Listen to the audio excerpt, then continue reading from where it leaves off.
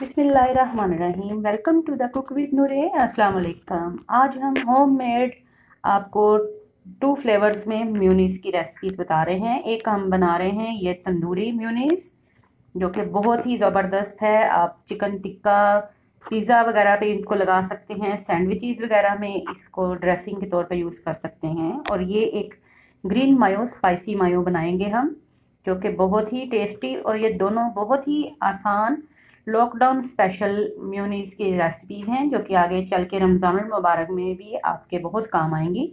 तो वीडियो को एंड तक ज़रूर देखिएगा। और इसके लिए हमने हाफ़ हाफ़ कप जो है, वो प्लेन म्यूनीस लिया है। म्यूनीस मैंने ऑलरेडी आपको पहले बनाना सिखाया हुआ है। तो म्यूनीस की मैं लिंक जो है, वो डिस्क्रिप्शन में आपको दे दूँगी। आप बाज़ार का भी म्यूनिस ले सकते हैं। प्लेन वाला म्यूनीस है ये और अब हम चिकन टिक्का म्यूनिस जो बनाएँगे, उसमें पहले ऐड करेंगे half teaspoon chicken tikka masala powder.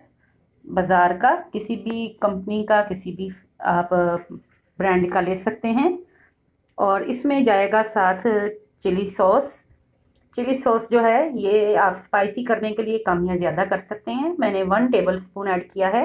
Half cup mayonnaise में half teaspoon chicken tikka और two tablespoon tomato ketchup और वन टीस्पून जो है वो चिली सॉस डाली है हमने, रेड चिली सॉस।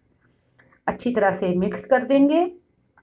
आपने इसको इतना मिक्स करना है कि जो चिकन टिक्का का कलर है वो अच्छी तरह से म्यूनिस के अंदर रच बस जाए। मैं इसमें थोड़ा सा ऑरेंज कलर फ़ूड कलर जो है वो इसमें ऐड करूँगी ताकि इसका फ्लेवर भी अच्छा आए और इसका कलर भी अच्छा आए। अब आ जाते हैं हम ग्रीन सॉस या ग्रीन स्पाइसी मायो की तरफ़। तो उसके लिए हरी चटनी रिसेंटली मैंने अभी आपको बनानी सिखाई थी। धनिया, पुदीना, अनारदाना, हरी मिर्च और इमली का पल्प डाल के उसको पेस्ट बनाया था। तो उसको हम लेंगे वन टीस्पून जितना आप इसमें कम या ज़्यादा कर सकते हैं।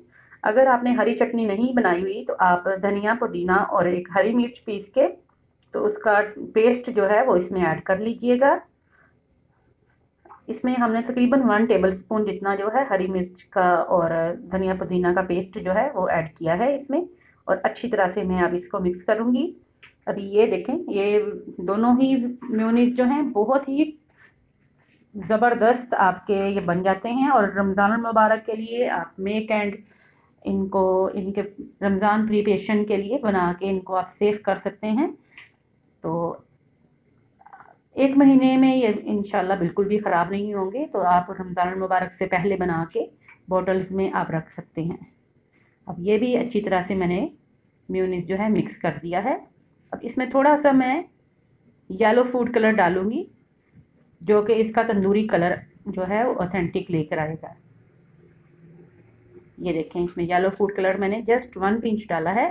इसका कलर चेंज करने के लिए ये ऑप्शनल है, आप फ़ूड कलर डालें या ना करें। लेकिन ये रेस्टोरेंट स्टाइल में फ़ूड कलर से इसका फ्लेवर और उस पर कोई असर नहीं होगा, लेकिन इसकी लुक जो है सेम वही हो जाएगी जो कि होटल्स वगैरह में आपको मिलता है, तंदूरी, मायो।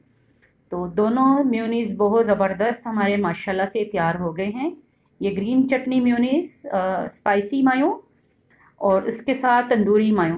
तंदूरी म्यूनीस जो है, ये भी और ग्रीन चटनी वाला म्यूनीस भी इनके साथ इंशाल्लाह जल्द ही सैंडविचेस की बहुत ज़बरदस्त रेंज में आपको बनाना सिखाऊँगी। मुख्तलिफ़ तरह के क्लब सैंडविचेस बनाएँगे हम, पराठा रोल्स बनाएँगे इनके साथ और इसके साथ साथ हम मुख्तलिफ़ तरह की ये डिप्स आपको मज़ीद भी बनाना सिखाएँगे। तो ज़रूर आप हमारे चैनल को इन टच रहिएगा। अगर फ़र्स्ट टाइम देख रहे हैं तो प्लीज़ सब्सक्राइब कर लीजिएगा और बेल आइकन को ज़रूर दबाइएगा, ताकि रमज़ान मुबारक के आने वाली तमाम लेटेस्ट वीडियोस आपको टाइम पे मिल जाएँ और ये बिल्कुल फ्री है। आई होप ये सॉसीज जो हैं, दोनों म्यूनीस होममेड आपके बहुत काम आएँगे और आपको ये रेसिपी अगर पसंद आई है तो प्लीज़ इसको लाइक कीजिएगा शेयर कीजिएगा अपनी दोस्तों के साथ फैमिली के साथ फ्रेंड्स के साथ। दुआओं में याद रखिएगा। टेक केयर अल्लाह हाफिज़।